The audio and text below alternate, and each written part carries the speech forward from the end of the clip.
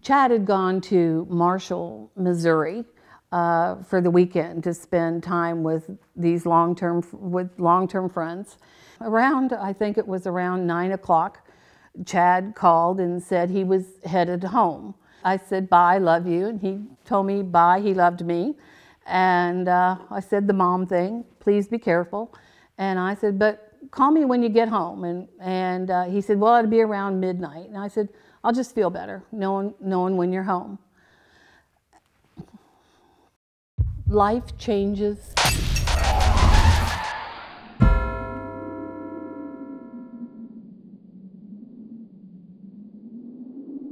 In an instant.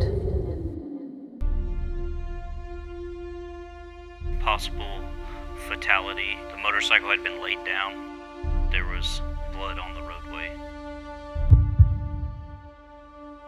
I noted a, a male patient laying in the roadway, a motorcycle on its side with several people standing around. When I got to the patient's side, the first thing that I noted was the patient had significant head trauma and was not breathing.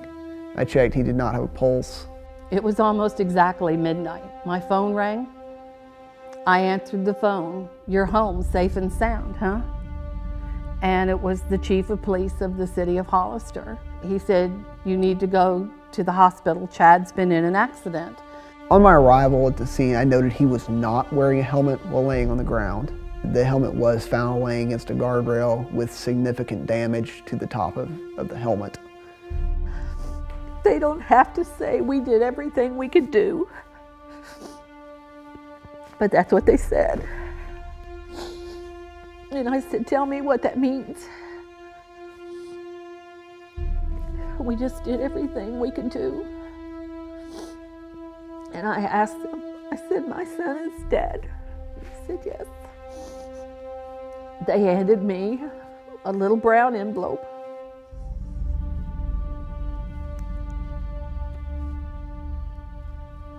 It had his wallet, his keys, and his cell phone.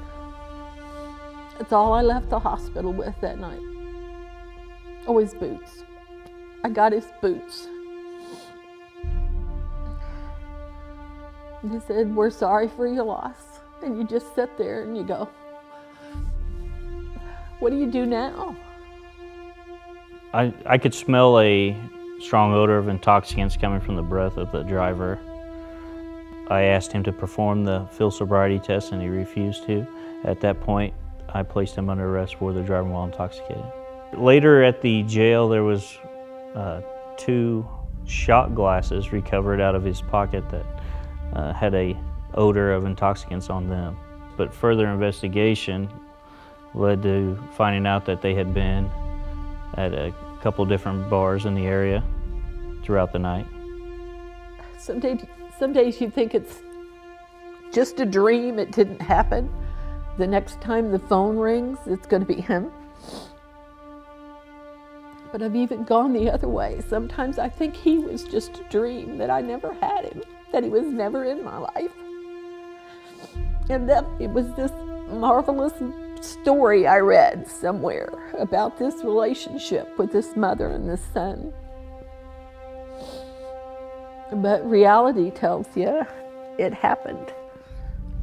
I know I was lucky I had him 40 years. I know some people don't have their children that long and we were friends. The last words I heard him say was, I love you, Mama.